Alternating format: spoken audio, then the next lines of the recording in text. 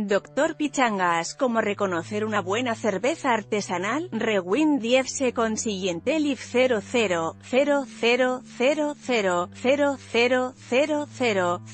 00 Chromecast Closed Caption Apps Full Screen El Doctor Pichangas junto a Francisco Podeleg y Francisco Pichon, fundadores de Nexovir, mostraron a una nueva mañana los distintos tipos de cervezas artesanales y contaron cómo reconocerlas. Además, dieron tips sobre la manera correcta de servir las cervezas.